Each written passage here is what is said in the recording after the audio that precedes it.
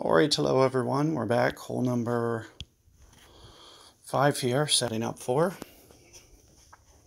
And what I like to do with this one, uh, if you guys checked my, you know, part one, you probably have this shot covered. I'm probably going to, you know, always play this hole this way.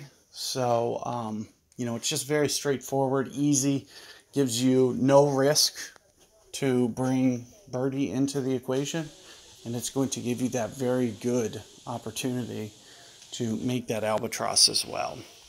So, um, you know, one of the things that I'll do here, let me just input 4.0 just so I can get a sense of what we're looking at here.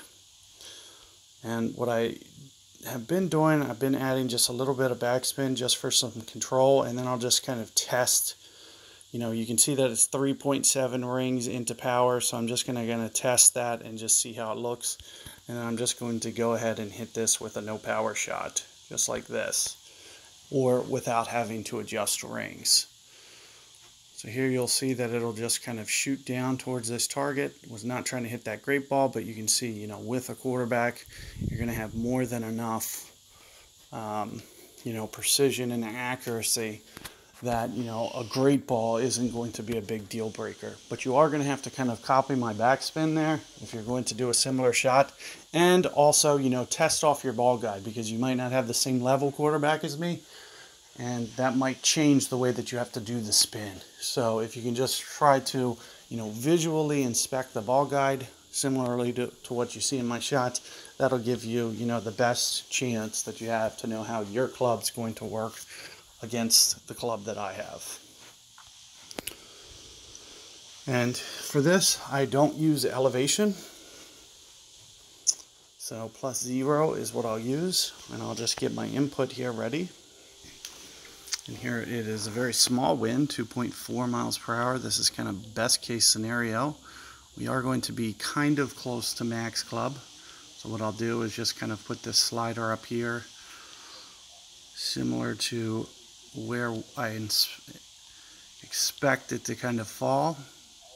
And what I'll try to do is try to get this on a little bit flatter spot, if at all possible.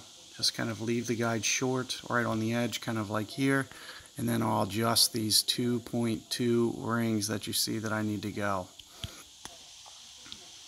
Mm -mm. Perfect ball.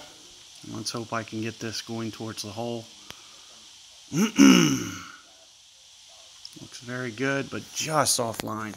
So you are going to just, you know, have to play around with that ball guide just a little bit and also be very precise with your ring play, but you'll see that it'll give you a very, very good albatross uh, play with a very, you know, safe layup drive. If you can just go quarterback sniper with no power or anything, and easily give yourself, you know, a run by the hole every time.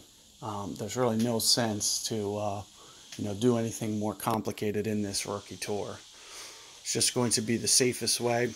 And here you can see that, you know, my opponent, you know, you can get it up there, but, um, you know, it's just going to be, you know, kind of a more pain and you're going to have to worry about potentially being in the rough and catching, you know, perfect balls through the rough. So much more safe to just kind of put it out there and play. Um, and if you didn't see my other my other guide, I was able to get the shot. But um, you know, either of these guides are going to help you get that alignment with what you want to do for a landing zone and how you want to execute the shot. So good luck with this fifth hole, guys, and catch you guys for hole six coming up.